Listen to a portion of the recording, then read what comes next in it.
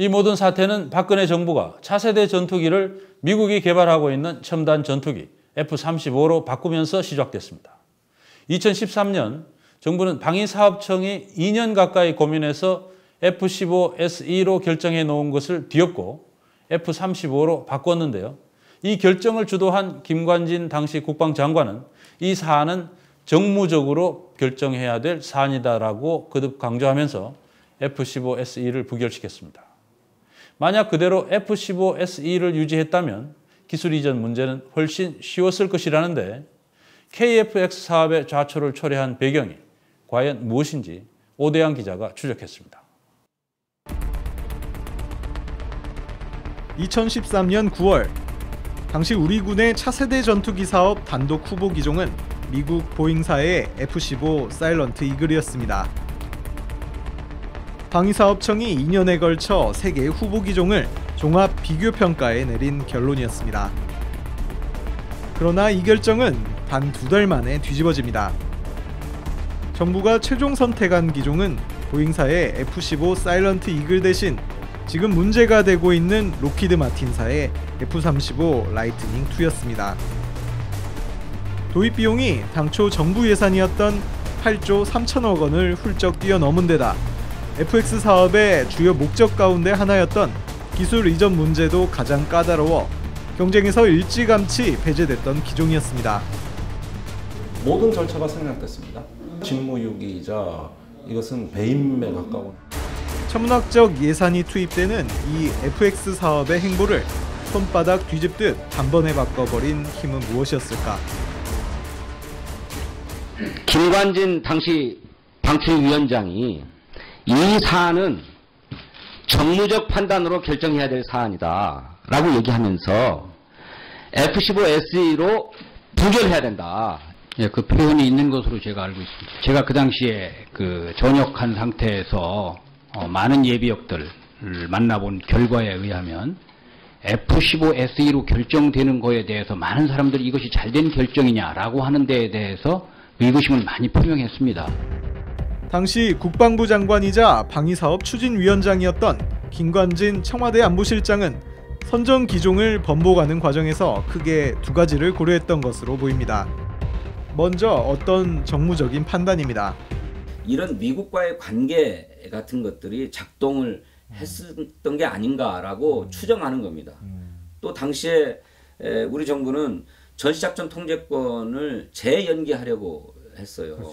재연기하려고 한다면 미국에다가 그만한 반대급부를 줘야만 하는 그런 상황이기도 했지 않았는가. 두 번째는 예비역 장성들의 조언이었습니다. 영명하신 대통령님께서 국가 안보 차원에서 특단의 조치를 취해 주신다면 국방 예산 범위 내에서 사업관 예산을 조정하여 스텔스 기능을 구비한 차기 전투기를 확보할 수 있으리라 믿습니다. 특히 예비역 공군 참모총장 15명이 청와대와 국방부, 국회에 보낸 이 편지는 이전까지는 강조되지 않았던 차세대 전투기의 스텔스 기능이 선정 기종의 필수적인 요소로 여겨지는 계기가 됐습니다. 후보 기종 가운데 스텔스 기능을 갖춘 것은 록히드 마틴의 F-35가 유일했던 상황. 그래서 사실상 특정 기종을 선택해달라고 요구한 것과 다름없었습니다. 문제는 이들 예비역 공군 참모총장들 가운데 록히드 마틴과 관계가 있는 사람들이 있었다는 겁니다. 공군 참모총장 역임 후 승진기술이라는 방위산업체를 설립해 운영하고 있던 김상태 씨. 승진기술은 바로 록히드 마틴의 한국 대리점입니다. 당시 그는 군사기밀을 빼내 록히드 마틴에 전달한 혐의로 재판을 받고 있는 중이었습니다. 명단에 함께 이름을 올리고 있는 한주석 전 총장도 마찬가지입니다. 1993년 율곡 사업 비리 사건 당시 한 씨는 록히드 마틴의 전투기 F-16을 도입하는 과정에서 뇌물을 받아 사법 처리됐던 인물입니다. 전문가들은 이 석연치 않은 선정기종 변경의 이면에 국익이 아닌 이른바 로키드 마틴 장학생들의 힘이 작용했을 것이라고 말합니다.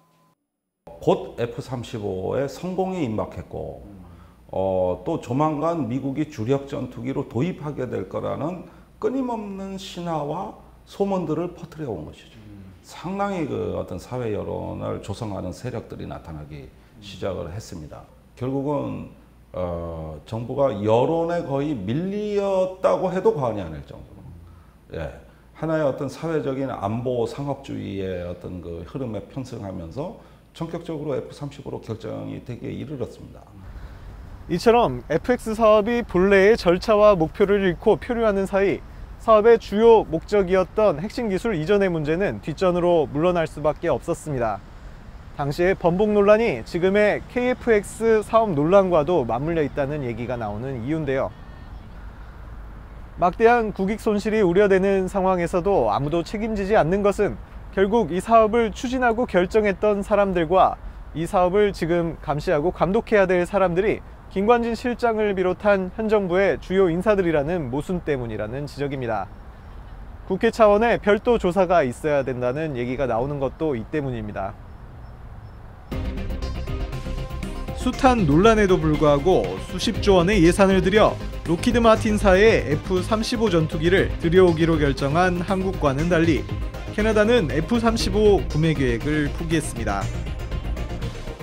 지난 10월 말 총선에서 제2야당인 자유당의 쥐스탱 트레도 대표는 F-35 구매 계획 철회를 주요 공약으로 내세웠고 I think the Prime Minister has some real explaining to do as to why he still thinks the F 35 is the only plane uh, that is suitable for Canada.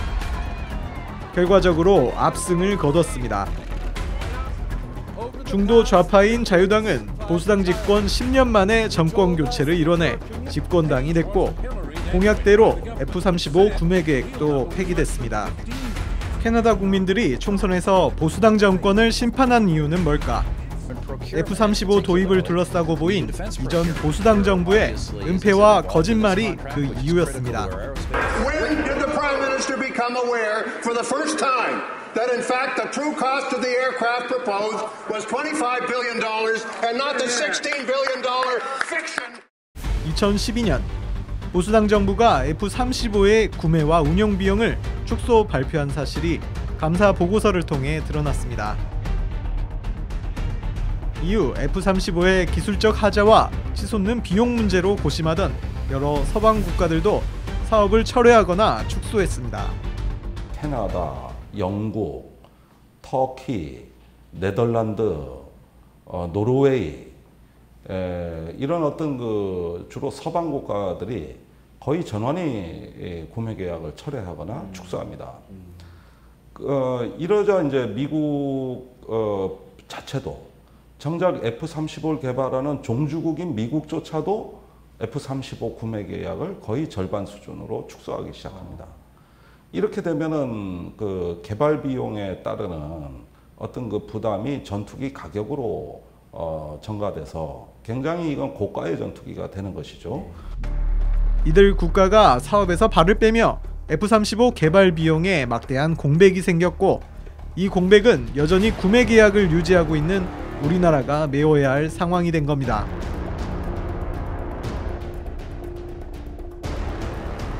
단군 이래 최대의 무기 사업으로 불리는 KFX와 FX 사업. 한미 관계에 대한 정무적 고려와 군수업체 로비스트들의 이해관계가 각축을 벌이는 틈에 우리 국익과 안보는 계속 표류하고 있습니다. 뉴스타파 오대양입니다.